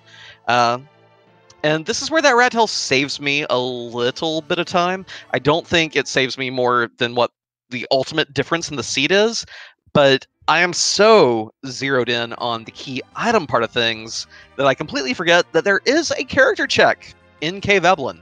Because normally when I'm thinking about Cave Eblan, it's, oh, can I find a curse ring somewhere, please? Or can I find a good character? Whereas this team is loaded. This team is ready to go. And because my plan is okay, turn in the rat tail. I don't even turn in the pink tail. I immediately reset and fly to Baron if that's not it. And I completely forget that there is a character check to make there, and just continue down the rest of the uh, the key item chains, the rest of the seed. Uh, I did peek after we were all done, uh, and discovered that it was a duplicate Palom, so saved maybe like uh, a minute 20 or so of running through the cave and resetting out upon seeing him. Uh, but still, a huge mistake, but one that, because I was targeting the key item aspect of the seed, was understandable. And also, when you're at the, as we're about to be, like the hour, we're going to be at like hour 22 or so, I think, when I do find the adamant you're in panic mode at that time when you're up against someone like Rivers. Like you're like, oh god, oh god, oh god, where do I go? Oh, I have to double dip lower. Ah, and it just completely blanked on me. So, odds are, if I had got single dipped Babel, I would have made that character check uh, after completing uh, this part that leads to the adamant. So I don't know. Lose it, gain it in one place, lose it in the other and I, I, don't really know how to evaluate that mistake and how it helped or hurt me. But I still felt like a big idiot when Zilch messaged me after the race and was like, "Hey, you know, there's a character there." Yeah, I think in chat we were wondering if uh, you were going to go check that character or not, since uh, had already found Edward by the time uh, he gets his hook, which will be here just momentarily. Uh, Rivers, question for you: What made you pick Cave Bahamut over Pale Dim Spot? Well, like I said, um, I know the Pale Dim spot takes longer to get to, as far as uh, any kind of potential reset or, or wipe or anything. And I, I think that at that point, Pale Dim is the place I least want value to be. And unfortunately, I know that I don't want to do any of the Feymarch stuff, so that's probably where it's going to be. Uh, but uh, you know, value in Cave Bahamut is a good meme, and it's served us well over the years doesn't mean necessarily always has to be true. Yeah, because both both you guys completely faded at Golbez at Feymarch, and Rivers, in your case, you completely faded Feymarch altogether. Um, I assume you guys were just both hoping beyond hope that that was not going to be required at this point, uh, hour 20 into the seed. Hey, I spent. Uh, I went down there twice. Okay, I bought those long swords. It got what it deserved. and yeah, I, I, committed as soon as I did that the first time. I'm like, no, I'm not going to go back there for Golbez. That's the thing I will fade this entire seed if need be. Uh, but I wasn't even thinking about him at this point. I was thinking, where's the Mist Dragon? Where's the Mist Dragon? Did I leave a D Mist in the Giant? Is there a D Mist at the Giant with everything I need? Is there an Edward at the end of the Giant with a D Mist blocking an Adamant? Like, it, it is just nothing but panic at this point and like the roaring in the back of my head, while the front of my head is still thinking, how can I clear these bosses as quickly as possible? But there was still that just roaring doubt in the back of the head at this point. And another question for you Venerable. I know a lot of the times in these seeds, you, especially with late Baron checks, you'll go down to the Odin spot first before taking on the throne. Is there any reason you didn't do that this particular time? Uh, I, you may have been looking at seeds where that throne was already required, or it may be a situation where I still need more checks, maybe. Here, I think there was still the active desire. Oh, no, I can tell you why. I can tell you exactly why. And I know that you're talking about the final match there. Um, here it's because I still need the character. Uh, if I only needed the key item, I would go to the basement throne first. If all I needed was an adamant, I would check it. And if so, good. We don't fight this. We get out of here in case it's the alt gauntlet, for instance. Uh, here, though, I still need Eddie. Let me do the check that is both character and key item all at once first. And also, I did get this Baron key from a spot that I knew Rivers didn't like to check. So mm, focusing on it seemed logical for that reason as well.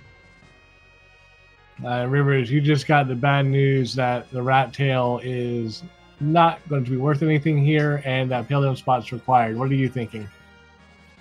Well, I don't know if it's required yet. It could be in Feymarch still, but yeah, I definitely was thinking, okay, well, I mean, this is annoying, but if I'm going to win, I'm going to have to do this spot.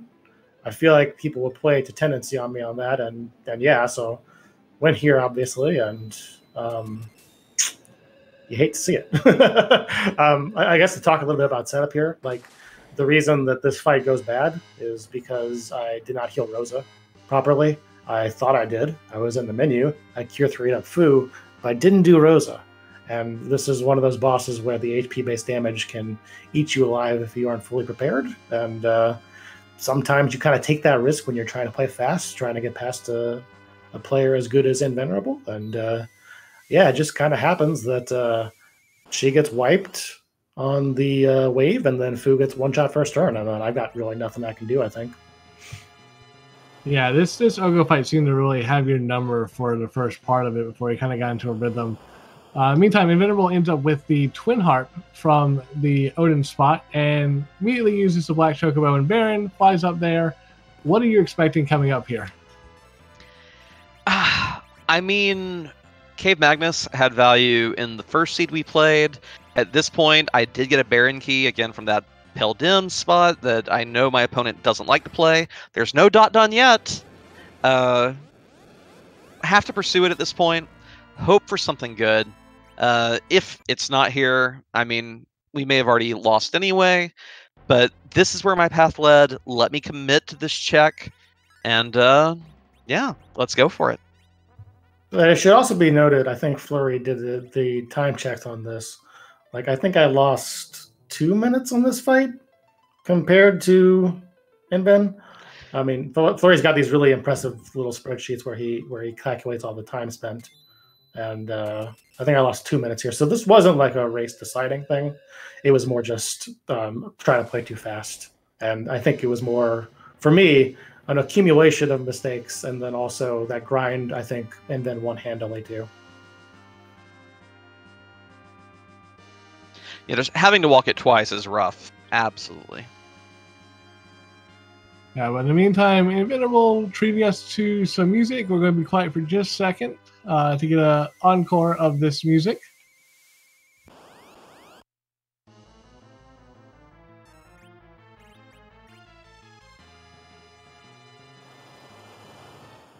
And actually, it looks like our viewer says it's not going to be able to switch over right now, so we're going to have to wait till Rivers gets there.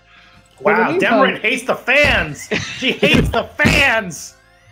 She's mad there's no Porom in the seed. Uh, if Porom were here, we'd get music twice, right? Right. Well, we never saw the seventh character, so Porom could technically be hiding on the giant. Do you want to know the actual answer to that question? Not really, no. Okay. Uh, but Indra, what did you think when you saw that blue robe pop up and you knew immediately that's Gauntlet? I, I- it's annoying, but one, the music plays longer. Two, I have my team anchored correctly to where Palama's going to sweep every fight before the enemies can get a turn off. Uh, I do queue up the second virus here just because I don't know if a virus split five ways, even at his level, will handle it. It handles it. Uh, so I wasn't that worried. I knew that the gauntlet fight was going to go as fast as it possibly could. I was going to get first turn. I was going to kill everything on either first spell or second spell. I, I didn't worry about it too much. It's a little annoying, but it would have been a lot more annoying to have had to have done this fight at level 18. Yeah, this is, uh, and and I think I had the same setup basically, where Black Mage was was up first. So, I mean, of all the places you can find this gauntlet, this is not a tough one, and this is one where you feel pretty happy about it. It actually kind of makes it easier than the normal boss if you have a mage heavy team like we do, just because it, it doesn't get the Dark Elf magic resistance. Uh, if we had a boss that had that, Edge still takes it down, uh, but the order here was just well suited to the situation. Yeah, you made this fight look incredibly easy, and I know chat was very happy with how long the music got to play in this particular spot. Yeah, I'm excited to learn what that song was. So you get through it, you get the item, and it is the value you are looking for. What's your thoughts right here? Dude, where's my Edward? Where's my Edward? Is my Edward in the giant? Is he behind the D mist? I've still not seen a D mist. Where's the freaking D mist? Uh, okay, let's go. Let's go chase the other item we got from the moon. Because I know Rivers is going to the moon. I know he's getting the tower key. Let's go follow it. And again, mind completely blanked on the fact that I had a character hanging behind the hook. It is gone at this point. My entire mind is filled with thoughts of where's the Earth Crystal? Where's D mist? I personally think you should have just gone right to the giant. I mean, that's that's a character for sure. You know that it's there. You know that Edward's there.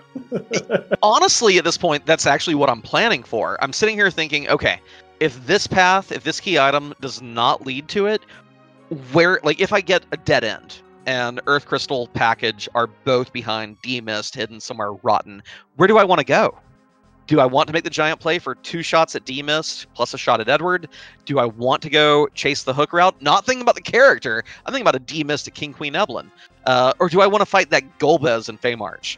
like i'm not even thinking about any of that other stuff right now. Not even like it, it's weird the stuff that my brain zeroed in on and the stuff that it kind of disregarded. Uh, so yeah. Uh, thankfully, Demist at CPU wasn't gating anything, and also this is a side effect of a seed I practiced the very night before had a gating Demist at CPU confirmation bias coming into play again something you've seen recently that was just terribly rotten just lodging itself in the side of your head and uh, it definitely impacted how i played this seed not seeing a demist even at this hour and a half mark Yeah, I mean, uh, the other part of that though is, you know, we we know that we were both in giant by by now, so I'm not even sure like how you approach that mentally. Like, is it, well, if I go there first, then I know, I know that my opponent probably didn't go through two fights. Or if you if you think about it the other way, you're just like, well, I'm fading that for sure because there's no way my opponent went there uh, and did those two fights. And honestly, I think that speaks again to the the fun and the quality of the one v one format that we've been going with this tournament. Uh, in a in a four way, someone someone's making that gamble, especially you know if it's in a situation for your where you're for all the marbles. One v one, you you have to be a lot more particular with how you want to gamble. If you want it to be a full fledged gamble or kind of a half gamble, and uh, those are it, it's a lot harder to make that play. So it's kind of weird. You'd think 1v1 would increase the variance, but it also flattens it out a little bit just because though there are risks you can make, you don't want to make any of the completely out of the park for the fences ones. Yeah, if you take a risk, you want that risk to be the uh, the two minute risk instead of the eight minute risk. I think that's the best way to put it. Absolutely. Yeah, well, Invenerable, you actually had some pretty good routing coming from that Twin Harp, taking the Black Chocobo back to Baron, where your airship was, right back underground to Forge, and then immediately to the tower for the tower key. So, not having to go back and forth or do any extra um, flying around on that front. I'm actually curious about that because a lot of people think that the Black Chocobo thing is just for swag. But if the next, like, okay, if the next place you're going is to Zot, which sometimes you are, sometimes you already have it planned, Magnus, Zot, back to Baron, go somewhere.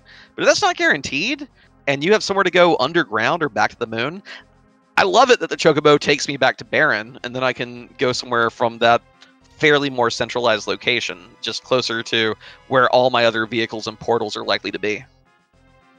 There's also a part of it just like showing it off. I know.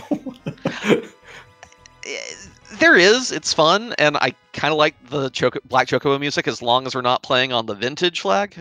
Oh my god, my ears. Uh, but yeah, I mean, it's fun, but I also sincerely like the location it puts us out. Oh, and another thing too, as we have seen, it can sometimes be tricky to catch a black chocobo in the chocobo village. It's a lot easier to grab that one in Baron. Just smaller area for it to run around in. Can't get away from you. It's not going to have three other chocobos running an amazing, you know, D line, O line, O line. I know a sport, uh, so there, there are advantages to it. That's one sack by the chocobo. no, I, I uh, I'm a, I'm a big fan of the Chocobo Forests too uh, in this format, and I think you know between the MP refill and the uh, extra chests, uh, the the T Pro bump there, like they're actually a lot more fun than they used to be, rather than just like something that's in the game just hanging out. Oh yeah, like no one did MP refill, and I think Zenith Zone One was Sophie or Zenith Zone Two. Uh, admittedly, we kind of started going there for the T Pro loot, but at the same time, talking to the Chocobo is much faster than dealing with a cabin or a tent animation. And if you get a good piece of gear at the same time, heck yeah, let's go. So, Invenerable, you got the Earth Crystal from the Tower Key. You immediately went to chase it, still fading that Golbez completely. Well, yeah, there are two characters behind this Earth Crystal. I don't know if there are any characters behind Golbez. yeah, at this, at this point, that Golbez is like ancient history for both of us, I think. And then remember, as you get the twin harp here from Odin Spawn, what's your thought when you see that? Um, I've lost the seed.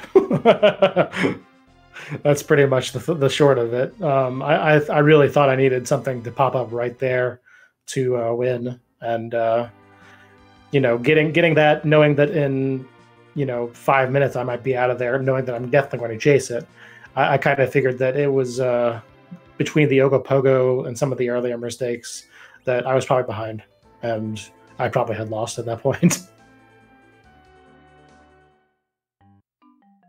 Uh, at this point, I know chat was still thinking it was anyone's game. I think at this point, most of chat had gone over to saying Inven was in the lead, but it was still close coming down the stretch here. As Invenerable gets into, beats the first boss and Zot, finds the Edward, uh, still has to take out the boss. And remember, you're heading over to take on the gauntlet in uh, Cave Magnus. Yeah, but there was like no chance that Invenerable was going to drop a fight to Z with with uh, you know. Obviously, I'm assuming that he did D machine. I don't think anybody could really see this layout from an advanced perspective and not D machine it. Um, it would be very difficult to win the seed if you didn't. I feel like, but uh, knowing that he probably did that, knowing that he probably took things more cautiously than I did going to the moon, knowing that he doesn't have an Ogopogo wipe on his resume. Like in my brain, I'm calculating all that. I'm like, yeah, this is probably going to be like a close loss, but we'll see. Yeah, and at this point, I'm I'm curious to see my menu before we go to Zeromus because I know a little while ago my Palom I think was already at level 59. Uh, he had gotten far ahead because when I did my D machine grind, it was based on getting Rosa powered up but Palom was getting slingshotted. So he definitely ended up with more levels than he needed. And he might even be like level 60 coming out of here, just because, again, Rosa was the basis for my grind. Palom getting double was gravy, gravy, nuclear gravy. Yeah, but we'll be quiet as Rivers gives us the encore of music, this time actually on stream. Switch it to the other one now, Demi. Switch it. No, no, don't do that. But but it's funny.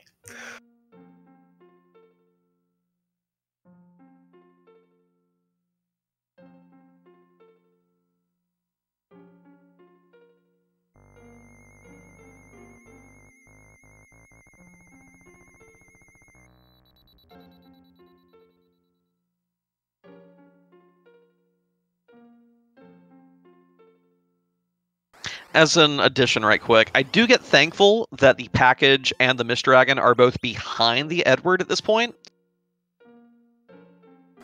Uh, just because there's always that concern that my opponent could have found an Edward somewhere else, and knowing that at least both those things are through it is a minor bit of relief.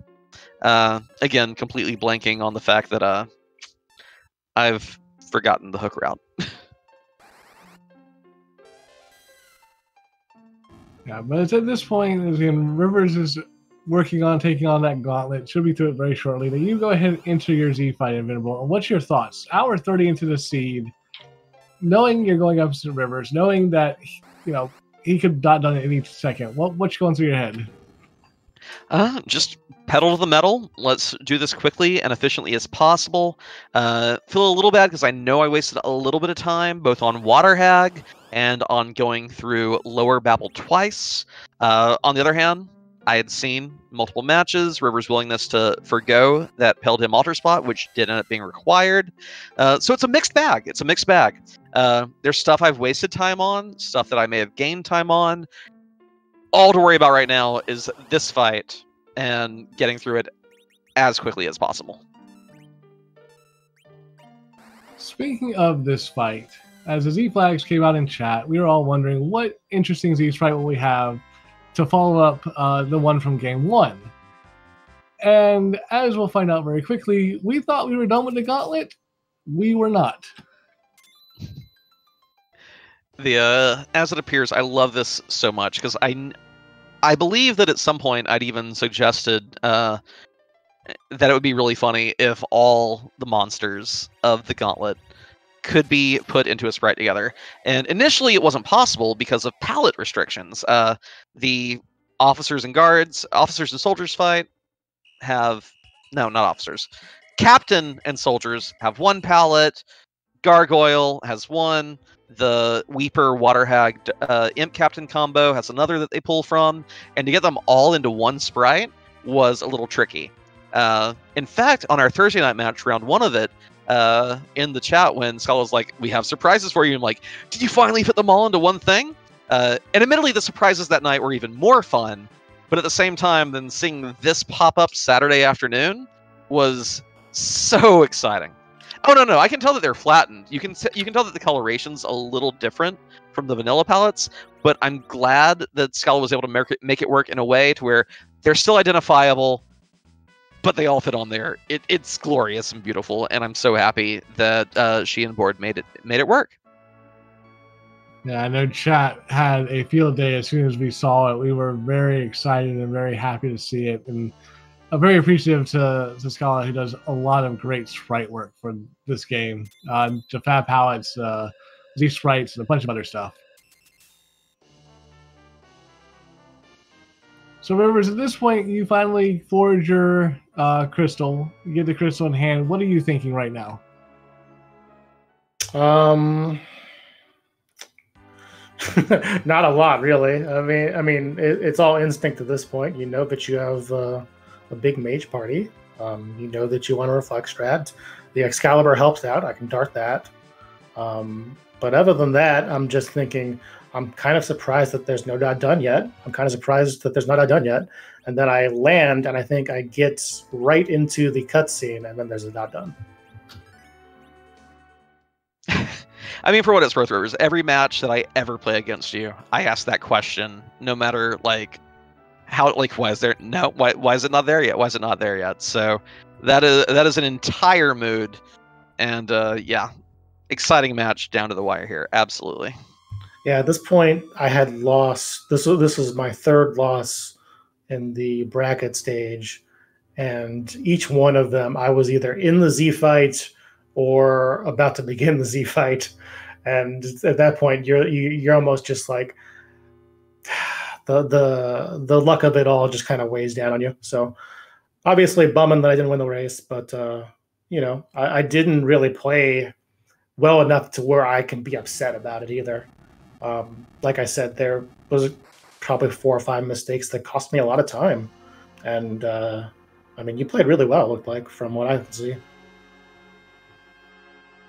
Yeah, there wasn't much difference that you could have made. I mean, Rivers for you, just that Ogopogo giving you that trouble right off the bat, really, for the most part, made the difference here between um, kind of getting to the Z fight a little bit later. Otherwise, it would have been a, maybe even just a couple seconds between this match.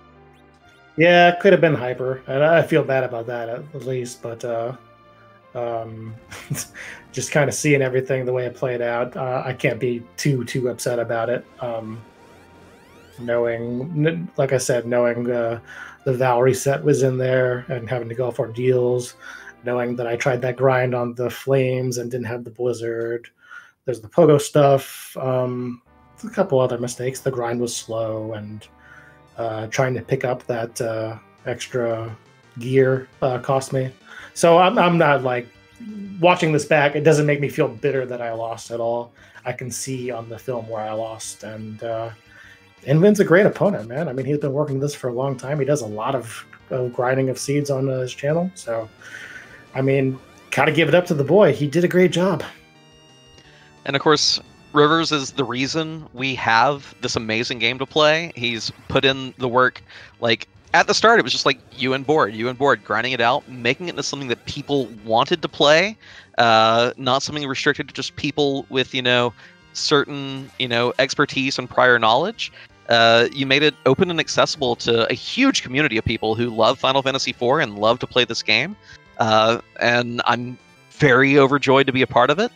Uh, and yeah, it's really fun to look at this. And Flurry again has those great analytics on this that you can see. Just you know, this little spot gives a little bit of time back. This one gives back. You know, like me double dipping Lower Babel, spending extra time in Feymarch, uh, versus only going up ordeals. You know, the one time.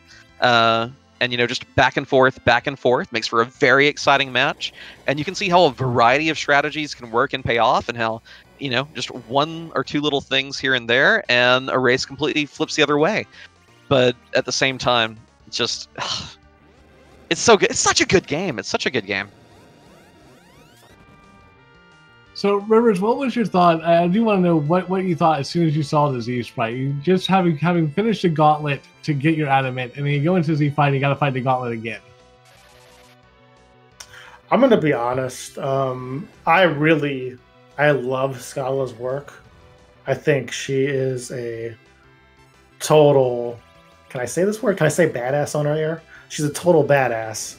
I, am so happy that she's on the team. I'm so proud of everything she's done for both the community, the artwork, the tournaments, like everything. But in this moment, I do not give a single crap about this Z sprite. I'm just trying to finish the game.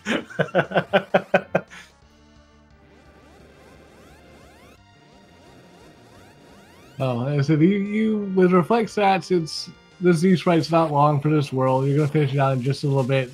End up taking second place. Going into that third game, how were you guys both feeling? Inven coming back, taking game two to force game three. Rivers, were you back on your heels, or were you just like, okay, it's a good, you know, just a three minute loss. I'm gonna bounce back. You start in then. uh, I was very glad to take it to a game three. Uh, I didn't want to get like the main thing was I didn't want to get blanked. Like there's there's no shame in losing to Rivers McCown. Like if I end up, you know, taking the L, always second memes continue. I can deal with that, especially since it would be against Rivers. Uh, but at the same time, not getting fully blanked, knowing I have a chance, knowing that I can hang uh, at this level of competition. Because I fought a lot of great opponents in this tournament, but no one no one of Rivers' caliber. So even knowing that you know I could pull off that win gave me a lot, a huge confidence boost coming into the next game. Uh, and I knew, you know, don't overthink it. Make your subtle gambles. Don't do anything too ridiculous. And uh, and you have a, you have a shot at this. You have a shot at this. So huge confidence boost. Felt good not to get blanked. Excited to give everyone a game three. Uh, that was that was the bulk of what was going through my head at that point. And I guess for me, um, I'm always kind of, uh, how can I explain? Like like a wave of exhaustion washes washes over me the longer these tournaments go. And uh, in this particular moment, I had been up at 5 a.m. writing uh, about NFL draft or my day job stuff. And so at this point, I was like over the entire world. I was ready to just take the longest nap I could possibly do. I think it wound up only being like 40 minutes, but I did it anyway. And, uh, you know, you wake up and you just pick the pieces back up. You know that you made some mistakes. Um, you know your feeling on, you know, the on the match coming in is that we're pretty evenly matched. Um, you you just kind of blank it all out and get ready to do it again because you know Invenerable is not going to be, you know, crap in the bed in the finals. He's coming for you. Well, you guys both ran uh, one heck of a race. This was the closest of the three races in the finals. It was a great show for everybody watching, those of us who are working behind the scenes. I'm so happy I was able to be here with you guys and hear your insights on it. Thank you so much for being here. Invenerable, again, congratulations on the overall win. Rivers, GG's on your second place. Uh, thank you so much for putting on this fun review for us. Do you guys have any final thoughts? Uh, I guess just um, you know we we we we had, didn't do a whole lot of these playoff ones. I thought it was important to kind of put some some upper level thought out there as far as how the two of us play these seeds. Maybe it gives somebody some inspiration to kind of do the the work to catch up. Maybe we're like looking back, you know, two years from now is uh, maybe this discussion is something where somebody entirely new comes in and kicks our butts, and and that's really great if that happens.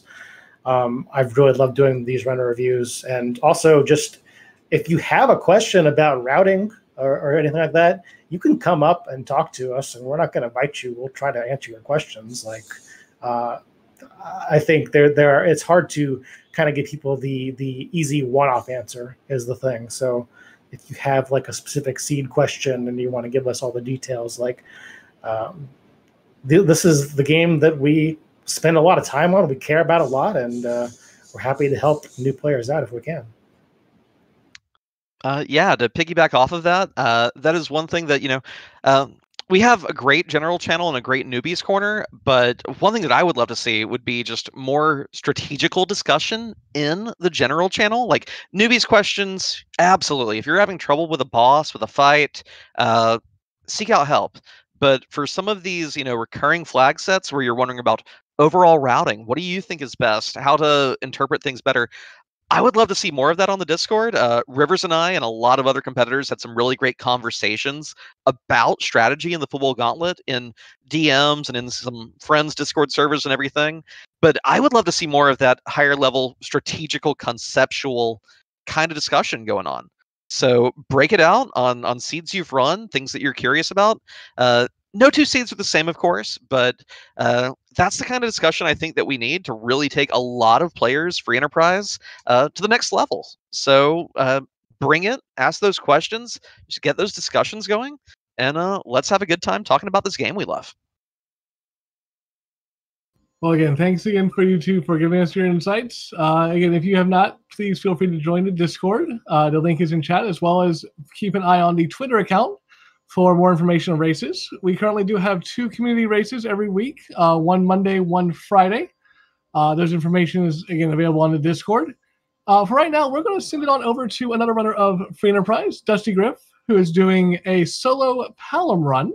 So if you want to see another high-level runner doing a lot of fun things with this game, please stick around, give him some love. Uh, feel free to give both of our runners here tonight, Invenerable Rivers McCown, a follow if you have not as well. Um, also, our wonderful restreamer, Demarine. I've been Gambit017. Thank you so much for hanging out for this runner's review, and we will see you next time.